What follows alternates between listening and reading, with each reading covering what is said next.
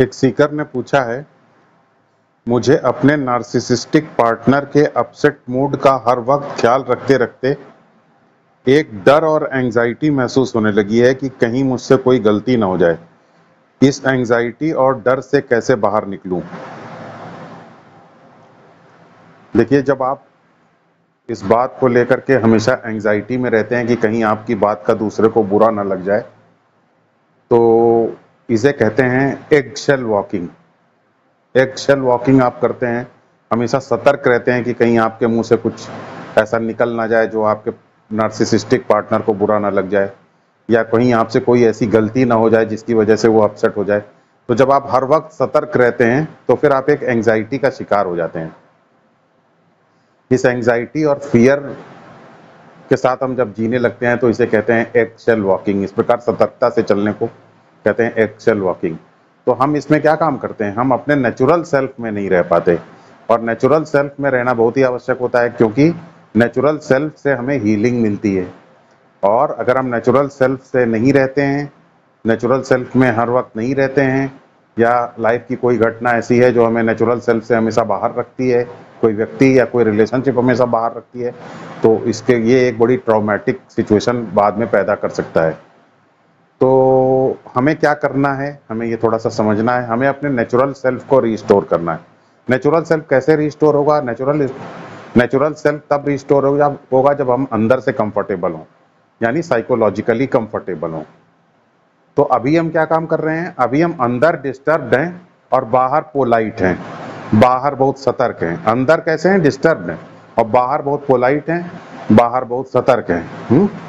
अभी हमें क्या काम करना है? इसी चीज़ को हमें पलट देना है। तो ये गेम चेंजर साबित होगा। है, आप इसको मैनेज कर सकेंगे आसानी से, बस थोड़ा सा एफर्ट करने की ज़रूरत है। तो आपको क्या करना है अभी? अंदर से रिलैक्स रहना है। अंदर से शांत रहना अभी कैसे थे? अभी तो अंदर से डिस्टर्ब थे। अब आपको क्या काम करना है? अंदर से शांत रहना है और बाहर से आपको लाइफ लाइक रहना है। जैसे जीवन नॉर्मल लोग जैसे रहते हैं, वैसे ही रहना है। अगर थोड़ा बहुत कुछ बात हो जाती है तो कोई बात नहीं होने देना है। हम्म, अंदर से आपको रिलैक्स रहना है और बाहर से आपको जो ज़रूरी हो वो करना है। तो जब अगर आप ये एटीट्यूड ले लेंगे अंदर से रिलैक्स रहने वाला तो ये आपके लिए गेम चेंजर साबित होगा। तो हम अंदर से कैसे रिलैक्स रह सकते हैं इस बात को थोड़ा सा समझेंगे। एक्चुअली हम भोजन तीन तरीके से ग्रहण करते हैं। हाँ एक तो अपने मुँह से हम भोजन ग्रहण करते हैं। तो इससे हमें क्या होता है? शक्ति मिलती है और ऊर्जा मिलती है। जब हम अंदर से शक्तिशाली होते हैं तो हम किसी के ज़्यादा दबाव में नहीं आते। अंदर से यानी मुँह से जब हम अपने खाना खाते हैं तो हमें कैसा खाना खाना चाहिए? हमें एनर्जेटिक और पोषक तत्वों से भरा हुआ खाना खाना चाहिए, अपनी पसंद का खाना चाहिए, स्वाद लेकर के खाना खाना चाहिए तो उससे हमें पोषण मिलेगा, उससे हमें शक्ति आएगी नंबर वन दूसरा, हम खाना जो है, अपनी नाक से भी खाते हैं। नाक से खाना खाने को क्या कहते हैं? यानी कि हमारा रेस्पिरेशन यानी हमारा श्वसन। जनरली हम सब सांस लेने में एक हमारी कमी रहती है। वो ये कि हम सब स्ट्रेस में रहते हैं, इसलिए हम सब सीने से सांस लेते हैं। तो सीने से जब हम सांस लेते हैं तो वो हमारी पार्शियल ब्रीदिंग होती है। हमें पार्शियल ब्रीदिंग नहीं करना है। हमें टोटल ब्रीदिंग करना है फुल ब्रीदिंग करना है। तो हमें कैसे कैसे हमें टोटल ब्रीदिंग हम कर पाएँगे? जब हम पेट से सांस लें बेली ब्रीदिंग करें गहरी गहरी सांस लें तो हमें क्या काम करना है? दिन में एटलीस्ट तीन बार एटलीस्ट दस दस मिनट के लिए हम गहरी गहरी साँसें लें। गहरी और धीमी, दस मिनट के लिए सिर्फ़। तो जैसे सुबह हमने दस मिनट सांस लिया गहरी और धीमी।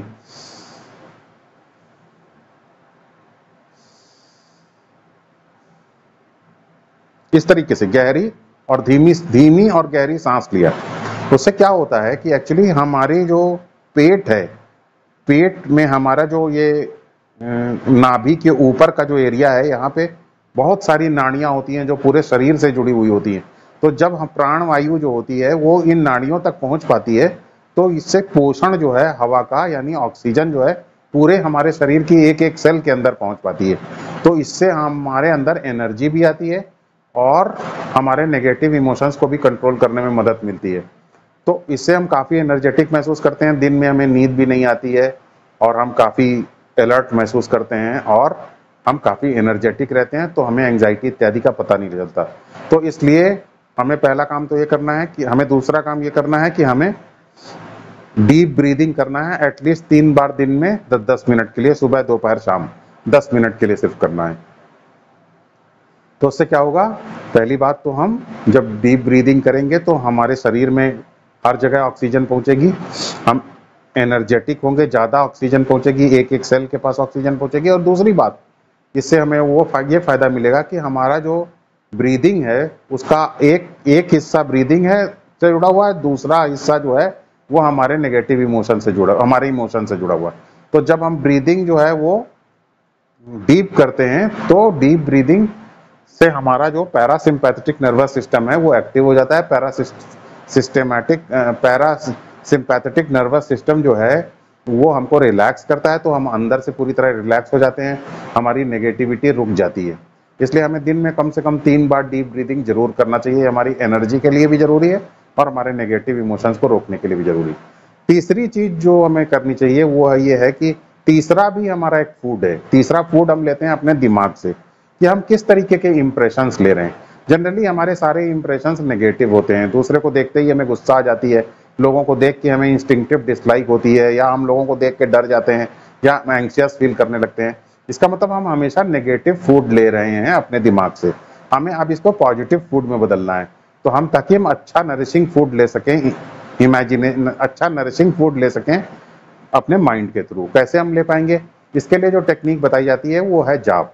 जाप कैसे करना है? जब आपके अंदर नेगेटिव इमोशंस चल रहे हो नेगेटिव फीलिंग्स चल रही हो नेगेटिव थॉट चल रहे हो तो आपको कुछ नहीं, आपको कोई एक मंत्र ले लेना है उसको बदलना नहीं है। उसको ओम नमः शिवाय, ओम नमः शिवाय, मान लीजिए मेरा मंत्र है, जैसे ही मुझे नेगेटिविटी फील हो रही है, मुझे ओम नमः शिवाय, ओम नमः शिवाय बोलने लगना है। तो माइंड चूँकि एक समय में एक ही काम कर पाता है तो जब हम ओम नमः शिवाय, ओम नमः शिवाय बोलेंगे तो नेगेटिव थॉट्स रुक जाएँगे नेगेटिव फीलिंग्स रुक जाएँगी। हम कंफर्टेबल महसूस करेंगे। जब हम कंफर्टेबल महसूस करेंगे तो हमारा जो हमारा जो सेल्फ है नेचुरल सेल्फ रीस्टोर हो जाएगा। नेचुरल सेल्फ रीस्टोर हो जाएगा नेगेटिव फीलिंग्स रुक जाएँगी। हम अच्छा महसूस करेंगे। और साथ ही साथ हमारा जब नेचुरल सेल्फ रिस्टोर होता है तो हमारा विवेक भी वापस आ जाता है। जब हमारा विवेक वापस आ जाता है तो हम जहाँ समझ पाते हैं कि एक्चुअली हमारी प्रॉब्लम जो है, हमारी नेगेटिव फीलिंग्स हैं, दूसरा व्यक्ति नहीं है।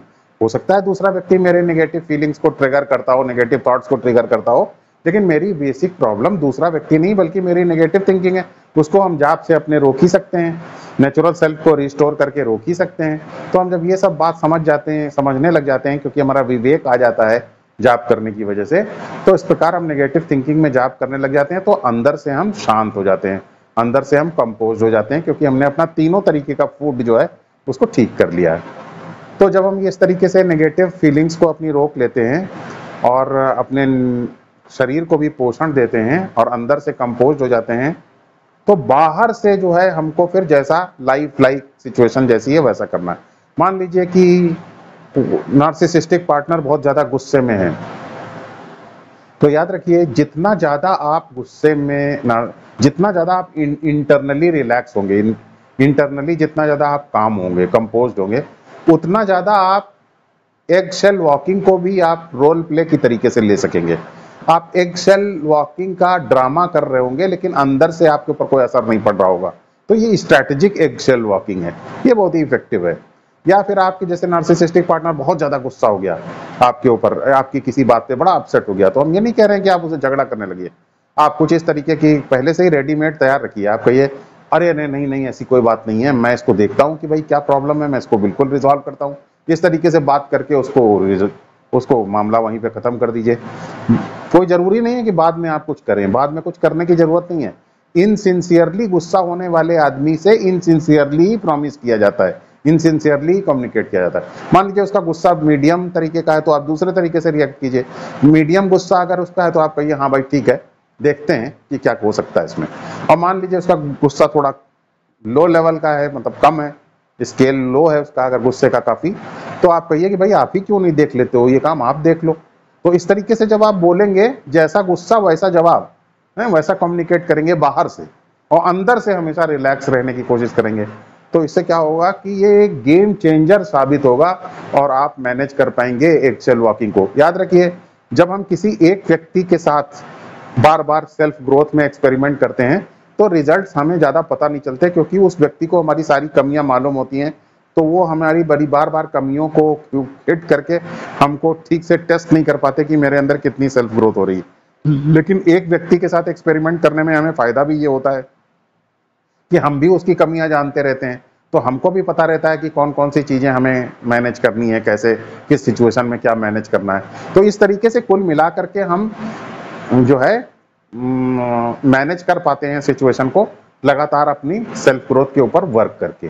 तो भले ही एक कोई व्यक्ति मेरी कमियों को बार बार जानता हो हर तरीके से जानता हो लेकिन फिर भी लगातार जब हम अपनी सेल्फ ग्रोथ के ऊपर काम कर पाते हैं और एक्सटर्नली लाइफ लाइक तरीके से रह पाते हैं तो फिर हम एक्सेल वॉकिंग को काफ़ी हद तक मैनेज कर पाते हैं और ये हमारे लिए गेम चेंजर साबित होता है अगर हम इस तरीके का एटीट्यूड रखते हैं। जाप कैसे करें इसका लिंक मैंने एलेबोरेटली डिस्क्रिप्शन बॉक्स में भी दे दिया है। एक्सेल वॉकिंग के लिए मैंने एक दूसरी जो इंपॉर्टेंट चीज़ मैं समझता हूँ जिसे सबको ध्यान में रखना चाहिए, वो है सेल्फ रिफ्लेक्शन थोड़ा सेल्फ रिफ्लेक्शन कीजिए। मैंने देखा है कि लोग जैसे हैं, वैसे ऐसे ही नहीं है। उसके पीछे कुछ रीजन भी होते हैं जिसकी वजह से वो वैसे हैं। जैसे, आप दूसरे की इतनी चिंता क्यों करते हैं कि दूसरा आपकी बात का बुरा ना मान जाए, दूसरा आपसे नाराज़ ना हो जाए? क्यों आखिर आप इतनी चिंता करते हैं? कुछ आपके अंदर भी कमियाँ हैं, इस वजह से आप चिंता करते हैं। तो उन कमियों को दूर कीजिए। मैंने देखा है कि लोग जो है, अपने ज़रूरी कामों को टालते हैं। प्रोक्रेस्टिनेशन इसे कहते हैं। जो ज़रूरी काम को अपने टालेगा, उसको दूसरे लोगों से बहुत पोलाइटली बात करनी पड़ेगी, क्योंकि वो तो अपना काम टाले हुए है, कमज़ोर है। हैं, कम कम कम वलरेबल पोजीशन में है, कमज़ोर पोजीशन में है, और काम टालता है। तो इसलिए दूसरे से उसको नमस्कार करना पड़ता है, दूसरे से अपनी बात ठीक से नहीं कह पाता।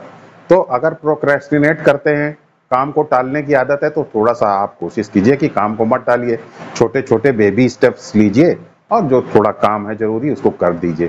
तो इसको ध्यान में रखिए कि आप प्रोक्रेस्टिनेट ना करें, इसको अपनी अगर ये कमी है तो उसको दूर करिए। क्योंकि अगर आपने प्रोक्रेस्टिनेशन की कमी को दूर कर लिया तो आप काफ़ी मजबूती से अपनी बात कह पाएँगे बिना डरे। दूसरी चीज़ मैंने देखा है कि लोग जो है, अपनी स्किल एडवांसमेंट नहीं करते हैं। स्किल एडवांसमेंट अपनी कुशलता का विकास नहीं करते हैं, जिस काम को भी कर रहे हो, या दूसरे शब्दों में अगर कहें, सरल शब्दों में कहें तो नई चीज़ें नहीं सीखते हैं। तो नई चीज़ें कैसे सीखेंगे? नई चीज़ें सीखने का एक तरीका है। बस उसमें किसी तरीके से जुड़ जाइए उससे। हम्म कर दीजिए थोड़ा बहुत। छोटी चीज़ चीज़ शुरू कर दीजिए। थोड़ी बहुत गलती करेंगे ट्रायल एंड एरर से ही धीरे धीरे आप सीख जाते हैं। तो शुरुआत कर दीजिए बस। थोड़ा बहुत स्किल सीखिए। जब आप स्किल सीखेंगे नई नई चीज़ें सीखेंगे, उससे आपकी कॉन्फिडेंस भी आपके अंदर आता है, आपके अंदर सेल्फ स्टीम का विकास होता है और आप दूसरे से फिर डरते नहीं हैं क्योंकि आपको बहुत सारी स्किल्स आती हैं। आपको पता है कि आप एक महत्वपूर्ण व्यक्ति हैं क्योंकि आपके अंदर कुशलता है, आपके अंदर नई नई स्किल्स हैं, आप हमेशा समय के अनुसार बदलते रहते हैं। तो जब आप ये सब चीज़ें जानते रहेंगे तो आप दूसरे से डरेंगे नहीं, अपनी बात कह पाएँगे। तीसरी चीज़ कभी कभी मैंने देखा है कि आदमी चाहे कुछ भी प्रयास कर ले, कुछ भी बदल नहीं पाता है। कुछ भी चाहे कितना कुछ कर ले प्रोक्रेस्टिनेशन अगर हैबिट है तो जा नहीं पा रही है। स्किल एडवांसमेंट में कुछ भी नई चीज़ समझना, सीखना संभव ही नहीं हो पा रहा है। लाइफ की सिचुएशन को बदलना संभव ही नहीं हो पा रहा है। तो अगर कुछ भी बदलना संभव ही नहीं हो पा रहा है किसी भी तरीके से तो इसका मतलब समझ जाइए कि अदृष्ट फल काम कर रहा है, यानी पूर्व जन्म का कर्म ऐसा है कि वो कुछ भी बदलने नहीं दे रहा है। तो जब तक कर्म खत्म नहीं होगा, तब तक चीज़ें वैसे ही बनी रहेंगी, बदलेंगी नहीं। तो आप क्या करें? तो एक काम और भी कर सकते हैं, अभी भी एक काम कर सकते हैं। वो कर्म को क्या कर सकते हैं? वो चूँकि ये हमारे कर्म का फल है कि अभी लाइफ में कोई बदलाव नहीं हो पा रहा है, कर्म बहुत ही स्टिकी है तो कोई बात नहीं, उसको स्वीकार कर लेंगे। जो हमारा स्टिकी कर्म है, उसको स्वीकार कर लेंगे, बदलने का इंतज़ार करेंगे, उसके डेडलॉक के जाने का इंतज़ार करेंगे तो उसको स्वीकार कर लीजिए। तो पहली बात प्रोक्रेस्टिनेट करना बंद कीजिए। दूसरी बात, नई चीज़ें सीखिए स्किल एडवांसमेंट को करिए सेल्फ स्टीम का विकास कीजिए। तीसरा, अगर ये सब कुछ संभव ही नहीं हो पा रहा है किसी भी तरीके से तो अपना इसको स्टिकी कर्म समझ करके स्वीकार कर लीजिए। कुछ दिन बाद जब कर्म ढीला पड़ेगा, खत्म होगा तो आप फिर से, आप जो है डेडलॉक लाइफ का चेंज होगा। तो इस तरीके से आप जो है सेल्फ रिफ्लेक्शन करके अब मेरे अंदर कहाँ कमी है जिसके ऊपर विचार करके आप चीज़ों को बदल सकते हैं। तीसरी चीज़ जो एक्सेल वॉकिंग के लिए सबसे ज़्यादा ज़रूरी है हमें समझना, वो ये है कि हमें ना तो दूसरा जब हमें ब्लेम करे तो उस ब्लेम को अपने ऊपर लेना है और ना सेल्फ ब्लेम करना है। अपने आप को सेल्फ ब्लेम भी नहीं करना है कि अपने आप को और वक्त ब्लेम करते रहते हैं। हम याद रखिए, हो सकता है कि आपके दिमाग में ये आए बात कि अरे आपने तो जो जो चीज़ें जानना चाहिए था, जानते ही नहीं। जो जो चीज़ें सीखना चाहिए था, वो तो आपने सीखा ही नहीं। तो ऐसे में हम अपने आप को ब्लेम करने लगते हैं, लेकिन ये ऐसा ही तरीका नहीं है। आप ये मत कहिए कि मैंने ये चीज़ नहीं सीख पाया हूँ। आप ये कहिए कि मैं ये ये चीज़ सीख पाया हूँ। लाइफ में हर चीज़ सब हर व्यक्ति नहीं सीख पाता है। कुछ चीज़ें हम सीख पाते हैं, कुछ चीज़ें हम नहीं सीख पाते हैं। तो चलिए हमने ये प्रयास किया, जितना उससे, जितना सीख सकते थे, उतना सीख पाए। आगे जो पॉसिबल होगा वो हम सीख पाएँगे। जितना हमारी सिचुएशन ने अलाउ किया, उतना हमने किया। उतना हमने सीखा, उतना हमने जाना, उतना हम कर पा रहे हैं। जो हमारी पास सिचुएशन ने नहीं अलाउ किया, वो हम नहीं सीख पाए। ये सब सिचुएशन को गवर्न करने वाले भगवान हैं। तो इसलिए आप कभी भी अपने आप को ब्लेम मत कीजिए। नंबर टू नार्सिसिस्ट अगर पार्टनर आपके ऊपर ब्लेम करता है कि तुमने ये किया, तुमने ऐसे किया, तुमने ऐसे किया। तो इस प्रकार के ब्लेम से वो अपने बारे में बता रहा है। अपने डिसऑर्डर के बारे में बता रहा है, आपके बारे में नहीं बता रहा है। तो ये हमें समझना होगा। चाहे नार्सिसिस्ट पार्टनर कितना ही स्मार्टली आपको ब्लेम करे, चाहे वो कितना ही आपको डम बताए, चाहे वो कितना अपने आप को स्मार्ट प्रेजेंट करे, अगर वो बार बार आपको ब्लेम कर रहा है तो ये वो अपने डिसऑर्डर के बारे में बता रहा है। आप, आपके बारे में वो कुछ नहीं बता रहा है। और चूँकि वो अपने डिसऑर्डर के बारे में बता रहा है, इसलिए क्योंकि जो ये ब्लेम करना उसके डिसऑर्डर की तरफ़ इशारा करता है, उसके नार्सिसिज्म की तरफ़ इशारा करता है, इसलिए उससे हमें अपने आप को आहत करने की ज़रूरत नहीं है। तो इसलिए एक्सेल वॉकिंग का कोई मतलब नहीं बनता है ओके तो सीरियसली नहीं लेना। चौथी चीज़ जो है, वो ये है कि आपको कम्युनिकेट करना आना चाहिए कम्युनिकेट हम्म? करने का मतलब ये नहीं है कि आप दूसरे को ब्लेम करें। क्योंकि ब्लेम अगर आप दूसरे को करेंगे तो सिचुएशन एग्रेवेट हो जाएगी। जनरली लोग ऐसा समझते हैं कि अगर हम अपनी प्रॉब्लम कम्युनिकेट करेंगे तो नार्सिसिस्ट उससे ऑफेंड हो जाएगा, बहुत ज़्यादा नाराज़ हो जाएगा। लेकिन कम प्रॉब्लम को कम्युनिकेट करने का एक तरीका होता है। देखिए, मैं कैसा महसूस कर रहा हूँ, अगर मैं अच्छा महसूस नहीं कर रहा हूँ, किसी भी बात की वजह से उसके पीछे कोई भी कारण हो सकता है। और अगर मैं सिर्फ़ ये बताऊँ कि मैं इस वक्त ये ऐसा महसूस कर रहा हूँ, इस परिस्थिति की वजह से मेरे अंदर इस तरीके की फीलिंग इस तरीके की एंग्जाइटी या इस तरीके का डर उठ रहा है तब तो मैं जो महसूस कर रहा हूँ उसके बारे में बता रहा हूँ। और जब मैं जो चीज़ महसूस कर रहा हूँ उसके बारे में मैं बता रहा हूँ तो इससे दूसरा व्यक्ति प्रवोक थोड़ी हो सकता है। तो जब आप अपने अंदर क्या चल रहा है, ये दूसरे को बताते हैं तो इससे ये प्रोवोकेटिव नहीं है, ये दूसरे को प्रोवोक नहीं करता। उसको उग्र नहीं बनाता है, उसको नाराज़ नहीं करता है, उसको अपसेट नहीं करता। अपसेट क्या चीज़ करती है? अपसेट तब होता है कोई व्यक्ति जब आप उसको अक्यूज करें। तो आप उसको तो अक्यूज कर नहीं रहे। आप तो अपने अंदर की फीलिंग अपने अंदर की सैडनेस अपने अंदर की एंग्जाइटी अपने अंदर की चीज़ों के बारे में बता रहे हैं। यहाँ पे एक बात बहुत ही इंपॉर्टेंट है कि आपको हमेशा सेल्फ ग्रोथ के ऊपर भी काम करना होगा। यानी जैसे मैंने डीप ब्रीदिंग के बारे में बताया, उसको भी करना होगा। जाप के बारे में मैंने बताया, उसको भी करना होगा। नेचुरल सेल्फ में स्थित रहना होगा। यानी अपनी सेल्फ ग्रोथ के ऊपर लगातार काम करना होगा। और अपनी प्रॉब्लम्स को, अपने अंदर की फीलिंग्स को इनर फीलिंग्स को पार्टनर को अपने कम्युनिकेट करना भी होगा, बताना भी होगा। अब कभी कभी ऐसा होता है कि जब आप अपनी फीलिंग्स पार्टनर को अपने बताते हैं तो पार्टनर और ज़्यादा आपको परेशान करने लगता है ताकि आपकी वो फीलिंग से आप और ज़्यादा परेशान हो, अगर पार्टनर नार्सिसिस्टिक है तो। तो इन दैट केस हमें ये देखना होता है कि हम अपनी सेल्फ ग्रोथ के लिए जो स्पिरिचुअल प्रैक्टिसेस कर रहे हैं और अपनी प्रॉब्लम को जो दूसरे को बता रहे हैं, उसके बीच में एक बैलेंसिंग रखें। एक बैलेंस बनाए रखें, एक संतुलन बनाए रखें। संतुलन बनाए रखने का तरीका क्या है? अगर हमें लग रहा है कि मेरी बात को, जब मैं बताता हूँ कोई बात तो उसका मिसयूज करता है नर्सिसिस्ट उसको, उससे मेरी प्रॉब्लम को और बढ़ाने की कोशिश करता है तो फिर हमें अपने, यानी कि अपनी बात को कम्युनिकेट करने को थोड़ा सा रोक के अपनी स्पिरिचुअल प्रैक्टिस को ज़्यादा बढ़ा देना होगा, यानी एक्ट ऑफ़ बैलेंसिंग करना होगा। और एक बात और याद रखिए, जब आप स्पिरिचुअल प्रैक्टिसेस ठीक से करने लग जाते हैं, अंदर से स्ट्रांग हो जाते हैं तो अंदर से स्ट्रांग होने के बाद आप जब अपनी फीलिंग्स भी बताते हैं तो स्ट्रांग तो आप ही हैं। फीलिंग्स बताते हैं तो फिर जितना आप अंदर से ज़्यादा स्ट्रांग होंगे, उतना जब आप अपनी इनवर्ड फीलिंग्स के बारे में दूसरे को बताएँगे तो उसके लिए बड़ा मुश्किल हो जाएगा कि वो आपकी फीलिंग्स का दुरुपयोग कर सके, आपको दोबारा उससे परेशान कर सके, बदले में, बताने के बदले में परेशान कर सके। क्यों? क्योंकि आप स्ट्रांग हैं। स्ट्रांग व्यक्ति के द्वारा बताई गई बात का दुरुपयोग करना बड़ा मुश्किल होता है। तो जनरली मैंने देखा है कि लोग जो है, चूँकि अपनी फीलिंग्स को कम्युनिकेट नहीं करते हैं स्ट्रांग होने के बावजूद, उससे बोर्डम बहुत ज़्यादा बढ़ जाता है। दूसरे के साथ रहना बड़ा मुश्किल हो जाता है। तो अपनी फीलिंग को कम्युनिकेट करना चाहिए। अगर दूसरा पार्टनर उसका मिसयूज कर रहा है तो आप अपनी सेल्फ ग्रोथ को बढ़ाइए। जितनी सेल्फ ग्रोथ बढ़ती जाएगी, उतना ज़्यादा उसका दुरुपयोग मुश्किल होता जाएगा और आप आसानी से अपनी बात को कम्युनिकेट कर पाएँगे। तो कहने का मतलब है स्पिरिचुअल प्रैक्टिस करिए और अपनी बात को भी कहिए, यानी कम्युनिकेट भी करिए। अगर आप कोई स्पिरिचुअल प्रैक्टिस नहीं करेंगे, सिर्फ़ अपनी बात कम्युनिकेट करेंगे तो नार्सिसिस्ट पार्टनर उसका मिसयूज करेगा।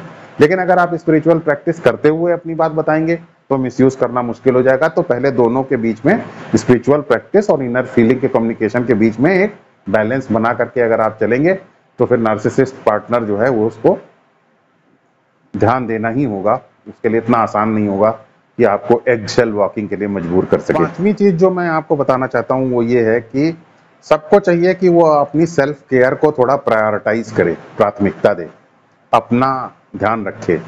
अपना ध्यान रखने का तरीका क्या है? हम तो ये कहते हैं, अपना ध्यान रखने का सबसे अच्छा तरीका ये है कि कोई अच्छा गोल बना लीजिए। गोल कई तरीके का हो सकता है। हो सकता है मेरी हॉबी से रिलेटेड कोई गोल मैंने बना लिया हो।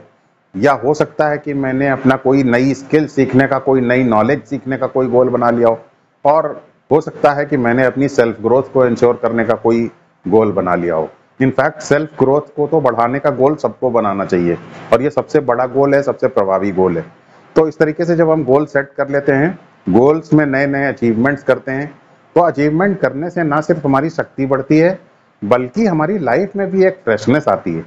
और हमारी सेल्फ स्टीम का विकास होता है। हमारे आत्मसम्मान में वृद्धि होती है जब हम कोई नई चीज़ सीखते हैं। सेल्फ केयर के लिए अपने गोल्स बनाते हैं। उन गोल्स को पूरा करने के लिए कोई काम करते हैं। और जब कोई व्यक्ति अपने गोल्स को पूरा करने में लग जाता है, कोई नया उसने प्रोजेक्ट अपने हाथ में ले लिया, उसको पूरा करने में लग जाता है तो फिर इतना ध्यान नहीं उसको रह जा, रह पाता है कि कौन क्या सोच रहा है, कौन क्या नहीं सोच रहा है।